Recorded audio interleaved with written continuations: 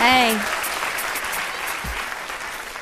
I'm not used to standing up here without a guitar, so I'm a little bit like. Y'all want a love poem, or do you want a poem about alone, fear, depression, desperation, hope, and grace? love poem? Love poem? All right, here it goes. This is a love poem. All right. You sure? All right.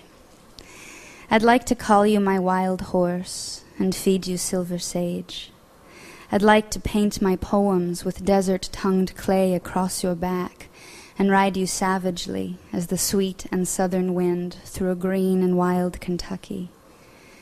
I'd like to make you my secret sun, blazing dark and red in the orchards, and I would steal away to watch the way your silver belly bends and bows beneath me.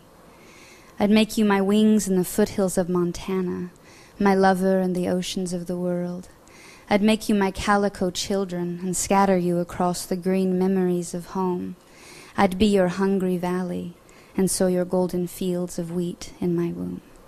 Thank you.